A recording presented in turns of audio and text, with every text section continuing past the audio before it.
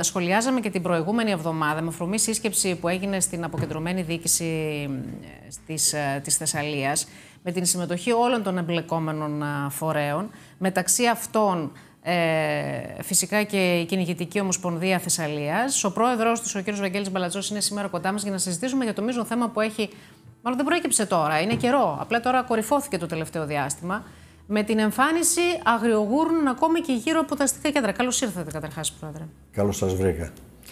Ε, αγριογούρνα, την ημέρα που φιλοξενούσαμε εδώ, την ημέρα της σύσκεψης, τον κύριο Τζαναγούλη το μεσημέρι, επικοινώνησε κόσμος μαζί μας που μας έλεγε ότι Α, και εγώ είδα ένα κοπάδι με αγριογούρνα λίγο έξω στη Λάρισα, ο άλλος λίγο έξω από το τάδε μέρος. Τι γίνεται; Είναι ένα θέμα πάρα πολύ σοβαρό που απασχολεί όχι μόνο τη Λάρισα, τη Σαλία γενικότερα, αλλά όλη την Ελλάδα. Όλη τη χώρα. Και να επεκταθώ και παραπέρα και την Ευρώπη φυσικά. Πριν μπω στο στούντιο, έβλεπα στην Πολωνία ναι. πώς έχουν μπει τα αγριογούρνα μες στην πόλη.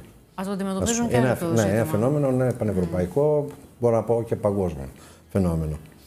Ε, πράγματι έγινε μια σύσκεψη στην περιφέρεια με τον κύριο Τζανακούλη, όλοι οι φορείς εμπλεκόμενοι, αλλά επίσης και με τον Κώστα τον Αβαραστό. Έχουμε συζητήσει πάρα πολλές φορές, γιατί δέχεται πολλές και αυτός διαμαρτυρίες, κυρίως από τους αγρότες.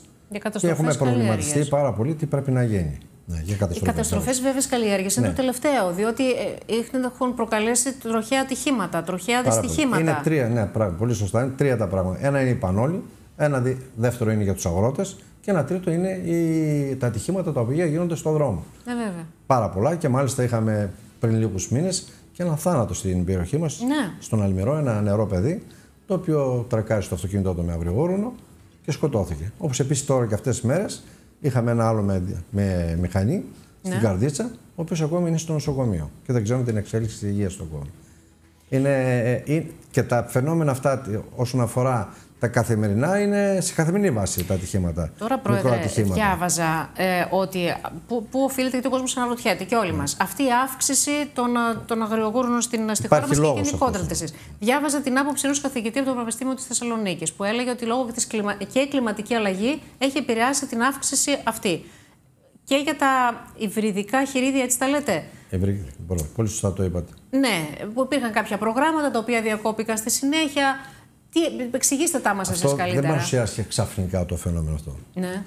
Τουλάχιστον στον ελλαδικό χώρο έγιναν τραγικά λάθη του παρελθόντος mm-hmm. των προηγούμενων κυβερνήσεων που είχαν αφήσει την ελεύθερη βοσχή. Εκείνη έγιναν διασταυρώσεις με τα άγρια. Γι' αυτό τώρα λέμε ότι υπάρχουν ημίημα. Τα περισσότερα είναι mm-hmm. ημίημα. Και το ημίημο και η βιολογία το λέει. Γεννάει καταρχάς μια φορά το χρόνο, πολλές φορές και δύο ναι. από 10 έως 12. Ενώ το αγριγόρονο είναι από 2 έως 6 το ανώτερο. Οπότε αντιλαμβάνεστε αυτή η διαφορά της γέννησης των ε, γορουνιών ε, και η αύξηση οφείλεται σε αυτό. Ένα δεύτερο πάλι επίσης, σίγουρα και η γνωμάτιση του κυρίου καθηγητού του, της Θεσσαλονίκης είναι για την κλιματική αλλαγή έπαιξε ρόλο, αλλά έπαιξε ρόλο επίσης τα τελευταία χρόνια και ο κορονοϊός. Συγγνώμη που σας διακόπτω, για να μην αναρωτιέται ο κόσμος τι εννοούμε την κλιματική αλλαγή. Αυτό που διαβάζω εγώ είναι ότι λέει, οι ήπιοι χειμώνες των τελευταίων χρόνων Μπράβο, ναι, αυτό είναι ε, ευνόησαν την ανάπτυξη την του, του, του, του, πληθυσμού Αυτό τους. είναι ακριβώς. Ναι, πολύ σωστά κάνατε. Ναι, για να, για να καταλαβαίνω ο κόσμος τι λέμε. Και ο ναι. κόσμος τι λέμε. Ναι. Ε, συνετέλησα επίσης και τα τελευταία χρόνια τα, του κορονοϊού ναι, ναι. που το κυνήγι επιτρεπόταν αλλά απαγορευόταν η μετακίνηση. Mm-hmm. Δεν μπορούσαμε να κυνηγήσουμε. Ποιος θα το πληρώνει. Δηλαδή, αν σε έπιανε η αστυνομία, έπρεπε να πληρώσει 300 ευρώ πρόστιμο για τη μετακίνηση. Εκεί, επειδή τα δύο χρόνια δεν έγινε κανονικά το κυνήγι, υπήρξε μια θεαματική άνοδο των αγριογόρων. Είναι σημαντικό αυτό. Και αυτό mm-hmm. συνετέλεσε στην αύξηση των γορονιών. Βέβαια, το κράτος εδώ και πολλά χρόνια. Ξεκινήσαμε εδώ και θα αναφερθώ γύρω στα 7-8 χρόνια περίπου πίσω. Επιτρεπόταν η κάθε κυνηγητική ομάδα να, την ημέρα της εξόδου, την κυνηγητική, να μέχρι 4 γουρούνια. Μετά πήγαμε στα 6, βλέπαμε την άνοδο αυτό και μετά αφήσαμε ελεύθερα. Όσα μπορούσε να βαρέσει 10-15 γουρούνια και 20 γουρούνια ακόμη. Ναι. Η μέρα κυνηγητική, κάθε κυνηγητική ομάδα. Τώρα εδώ και δύο χρόνια το Υπουργείο έδωσε το γουρούνι ξεκινάει 15 Σεπτεμβρίου και τελείωνε 20 του Γενάρη. Δόθηκε μια παράταση έως τέλος Φεβρουαρίου. Τα δύο τελευταία χρόνια. Επειδή ναι πάλι τα μέτρα δεν επαρκούν για τη μείωση του πληθυσμού. Ούτε τι γίνεται δεν συμμαζεύεται το πράγμα. Δεν συμμαζεύεται. Για μένα προσωπικά που έχω άποψη, τουλάχιστον για τη Θεσσαλία και όλη την Ελλάδα, mm-hmm.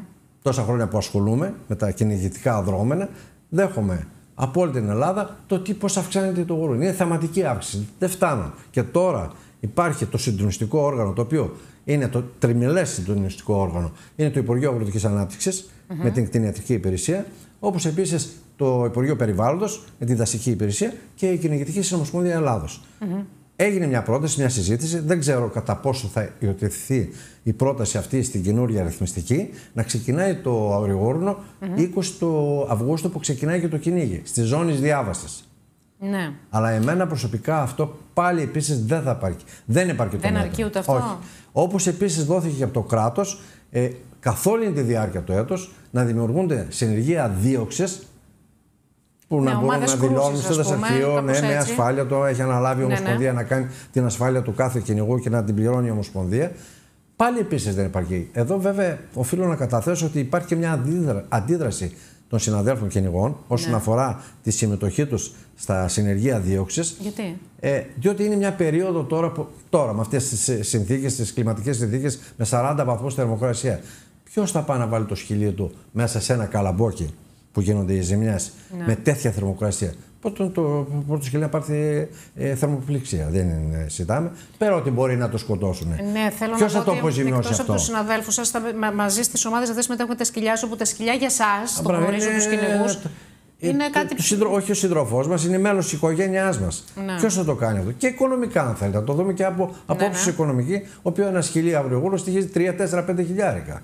Ποιος θα το αποζημιώσει αυτό το κράτος; Στη Γαλλία; Επιδοτούν το κάθε γορούνι που θα φωνευτεί από τις ομάδες Ναι. δίωξη που υπάρχουν ε, 300 ευρώ. Και τα επίση και τα φυσίγια και οτιδήποτε. Πρέπει το κράτος κάτι να κάνει σε αυτό το τομέα. Δεν μπορεί Ναι. εμείς να συμμετέχουμε σε αυτό το πρόβλημα που πραγματικά υπάρχει ένα σοβαρό πρόβλημα γιατί υπάρχει κοινωνική, οικονομική, ε, έχει Να δώσει συνέχεια. κάποια κίνητρα, λέτε εσείς, Ε, ναι, ώστε να να, πρέπει να μπορέσουν δώσει και οι κυνηγοί κίνητρα. να συμμετέχουν Να συμμετά- σε αυτή ναι, την να προσπάθεια. συμμετάσχουν, ναι. Σε αυτό το σχεδιασμό που Α, γίνεται. μπράβο. Κάποιον σχεδιασμό, ναι, διότι εγώ προσωπικά με ξέρετε τόσα χρόνια, Mm. αγρότης στο επάγγελμα, δέχομαι σε καθημερινή βάση από τους αγρότες τηλεφωνήματα, χωρίς να είναι κυνηγοί, με χωράφια και έχω πάει και κάνει αυτοψία. Δηλαδή με καταστροφή, δηλαδή ολοκληρωτική καταστροφή.